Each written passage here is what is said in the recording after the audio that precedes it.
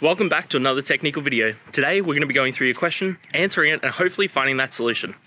Guys, remember to stay just a little bit crazy like me, and hopefully you find that resolution. Now, let's continue on to the video.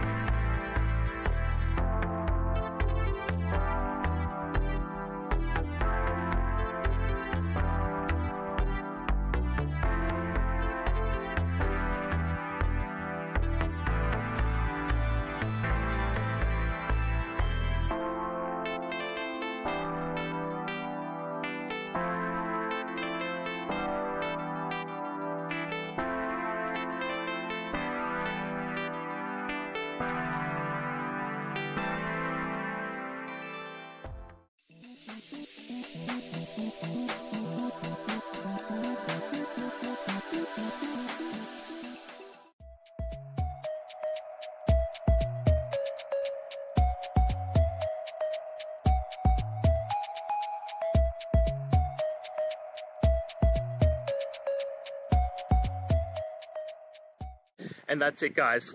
I hope we've gone through the question and found that solution you're looking for. And look, if we did, please hit subscribe. I'd really appreciate it. And until the next time you need technical help, I hope you have a good one. Cheers.